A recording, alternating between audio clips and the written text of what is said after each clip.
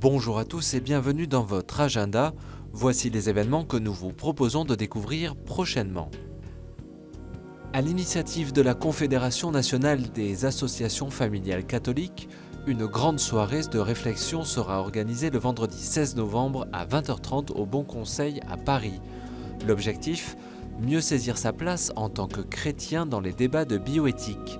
Le père Laurent Stalla Bourdillon, ancien aumônier des parlementaires et récemment nommé directeur du service diocésain pour les professionnels de l'information à Paris, et Jean-Louis Bavoux, diacre, médecin et délégué de l'archevêque de Paris auprès des établissements hospitaliers catholiques, apporteront leur éclairage sur la manière de s'engager et les leviers d'action possibles. Pour plus d'informations, rendez-vous sur le site www.afc-france.org. Depuis 2002, les entretiens de Valpré rassemblent pendant une journée et demie des chefs d'entreprise, des cadres, des entrepreneurs et des étudiants pour favoriser inspiration, échange et expérience sur les enjeux clés de l'économie, de l'entreprise et de la société à la lumière de la pensée sociale chrétienne.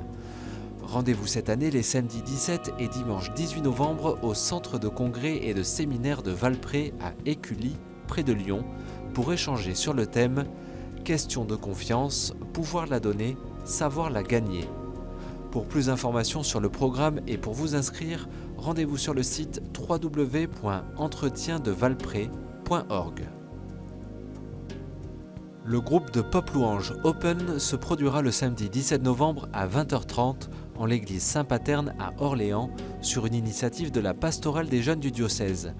Venez assister à ce concert de louanges qui viendra conclure la journée des collégiens du Loiret intitulée Prends ta foi en main. Durant cette journée, des centaines de collégiens se rassembleront pour des actions solidaires et des temps de partage. Pour tout savoir sur cette journée et le concert, une seule adresse www.orléans.catholique.fr. Dans le cadre de la Journée mondiale des pauvres, vous êtes convié à un concert de gospel samedi 17 novembre à 20h30 à la salle Étienne Pernet à Paris. Ce gospel clôturera une journée dédiée à la solidarité organisée par la paroisse Saint-Jean-Baptiste de Grenelle.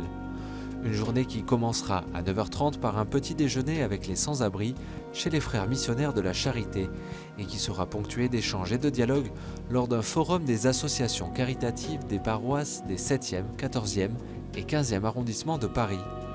Pour retrouver toutes les informations sur cet événement, vous pouvez contacter le Vicariat pour la solidarité du diocèse de Paris à l'adresse suivante vicaria.solidarité@diocèse-paris.net ou la paroisse Saint-Jean-Baptiste de Grenelle à l'adresse suivante jmp 2018 paris@gmail.com. Si vous avez des informations à nous transmettre, vous pouvez nous écrire à l'adresse agenda.ktotv.com ou à l'adresse qui s'affiche sur votre écran. Et on se quitte en musique avec Les Miracles, un extrait de l'album La Bible en chanson, 30 histoires chantées et racontées de l'Ancien et du Nouveau Testament. Toute l'équipe de KTO se joint à moi pour vous souhaiter une excellente semaine les quelques habitants d'un tout petit village l'appelaient simplement le fils du charpentier.